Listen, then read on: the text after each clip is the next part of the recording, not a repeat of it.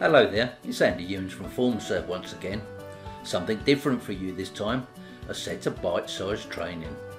I'm going to go through a set of videos on writing bash scripts for the IBM i. Just as knowing CL programming has become a necessity on the IBM i, and with open source on the IBM i hitting the headlines daily, the need to be able to write shell scripts is becoming more and more of a requirement. They are not as daunting as they first seem. They will help with your day-to-day -day tasks. Hopefully you would have already seen my video on how to use shells on the IBM i, where I discuss what bash is, how to get it and how to install it. I'll put the link to that video in the description. Also, all the examples I show will be available for download at our GitHub repository. Again, the link in the description.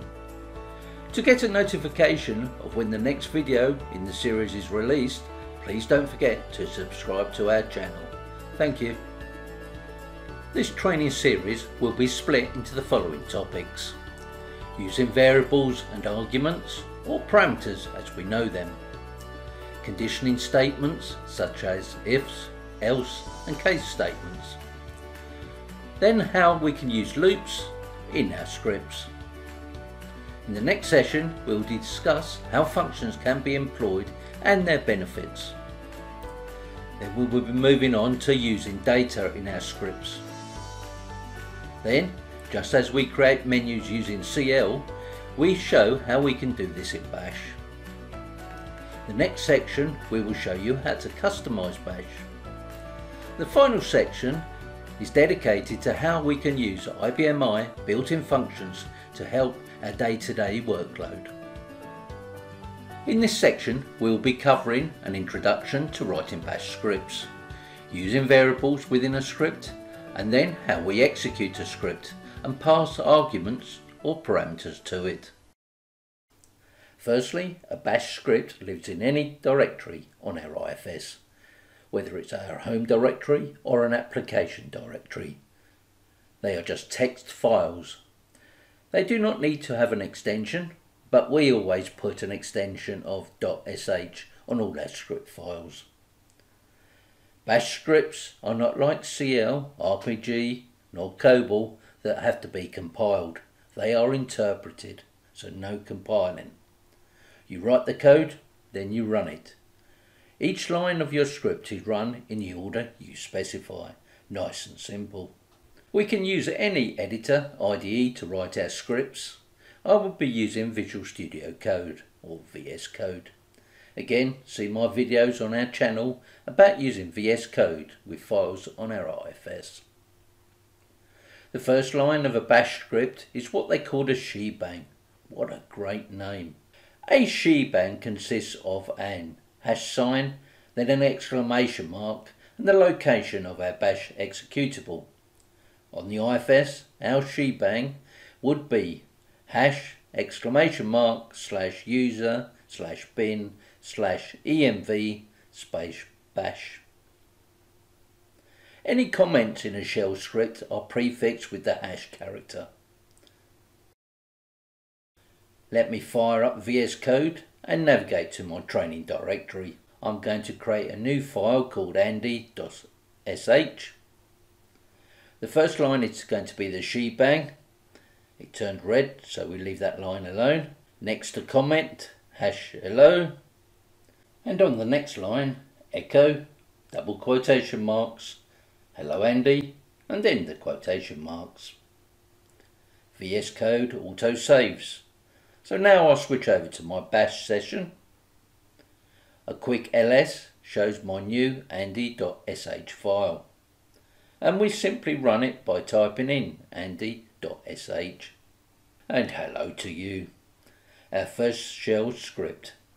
If we try running just Andy without the extension, it would not run, so remember to use the .sh extension. Now moving on to variables. Hello equals, in quotes, hello. You will notice I've got no spacing around the variable name the equals and the value in quotes. If I type hello equals hello again with spaces around it, it fails as it's looking for the command hello, not what we want. To use a variable, you prefix it with the dollar sign, as in echo dollar hello. Shell variables have no data type, they just store strings. Shell variables are case sensitive. If you try to use a variable without assigning it, it will have nothing. It will not fail with an undefined variable error. For example, if I type echo $x, nothing is displayed, so no error handling there. It is recommended not to use uppercase for your own variables, as these are used for predefined variables. If I type echo dollar $user in uppercase, I'll get Andy, as that is my user profile that I've signed on to this bash session with. You can see all these predefined variables by typing in set. To use any of these variables in our script, we just use dollar, then uppercase, the name of the predefined variable. If I want to join two variables together, I could just type echo and in quotes dollar hello in lowercase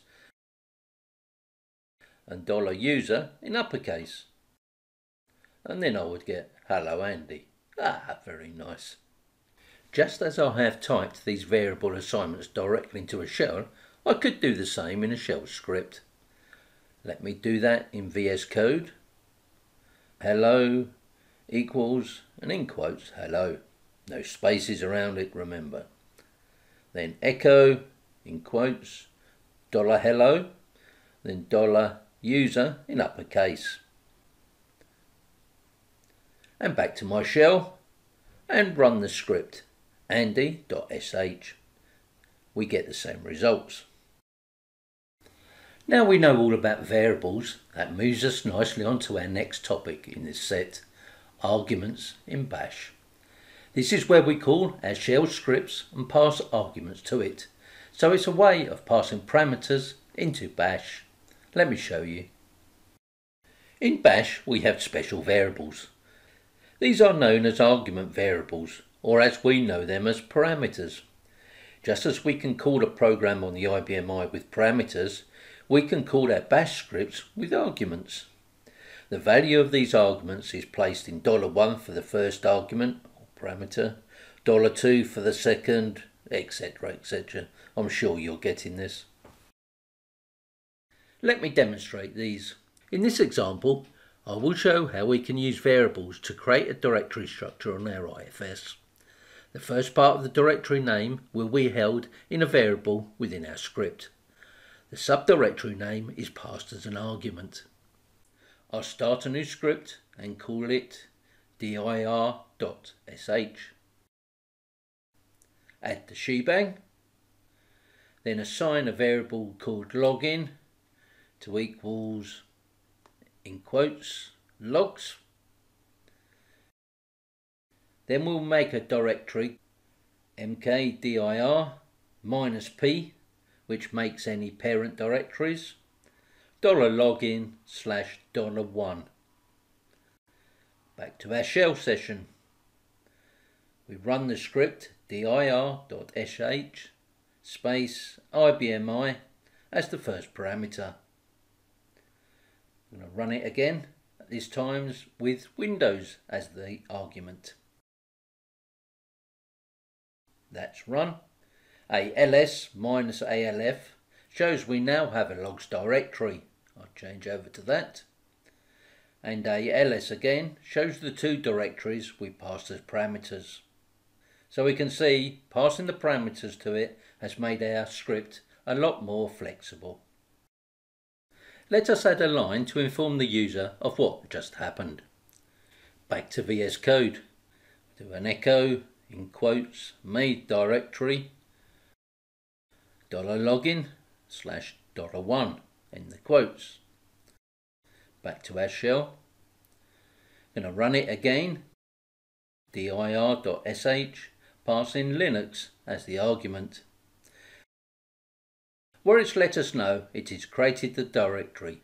All nice and neat. I can hear you saying you don't have to use quotation marks when assigning a variable's value. Yes, you are correct. But there are times when if you don't use quotes, you will get, as they say, unpredicted results. So it's a good habit to get into. Once bitten and all that. Moving on to the next part about variables. Variable scoping. If I go back, I'll amend my script and change $1 to dollar log underscore dir. So my script expects it to be set outside the script. Back to the shell session, I'll set log dir equals, in quotes, bash, then run dir.sh without any parameters. Ah, didn't take any notice of my log dir variable. So variables set in my script are internal to that script. To make any external variables available to my script, you have to use the export command to make that variable available to any subsequent script. So, export log underscore dir. And I'll run the script again. This time it has taken notice of the external log dir variable. You will see this widely used within shell scripts, the export command. To set and export a variable, I could just type export log underscore dir equals, in quotes, bash, close quotes. Variables that are exported are also known as environment variables. Use the set command to list all your environment variables and we can see the ones we have set there. That wraps up this topic on an introduction and variables in Bash. Look out for our next topic in this series, conditioning. Subscribe to our channel so you'll be informed when our next video is available. If you need any further details about open source or IBMI, check out all our videos at learning.formaserve.com powerwire.co.uk and the articles we have written for powerwire.eu. I hope you find them useful and let us know if there are any other topics you want us to cover. Even through these difficult times, my company, FormaServe, is still providing training on our favourite platform, the IBMI. Whether it's remotely, through a mask, we are still here for you. If it's traditional programming using RPG and CL, or the modern methods of integrating open source into your infrastructure, we are here to help. We have over 30 years of teaching on the IBMI. Why not use us to get up to date and be at the forefront of the post-pandemic world? FormaServe uses Microsoft Teams software to develop top-notch training material. Take a look. You will not be disappointed. As many students have found, all our training is very informal, it's the way to learn. Find out what it's like to have fun while training. And that wraps up this quick video. Thank you for watching our How To on IBMI video set. I hope you found them useful. Keep checking out our website learning.formaserve.co.uk and our YouTube channel. We regularly add new ones. Stay safe and we'll see you soon. Thank you.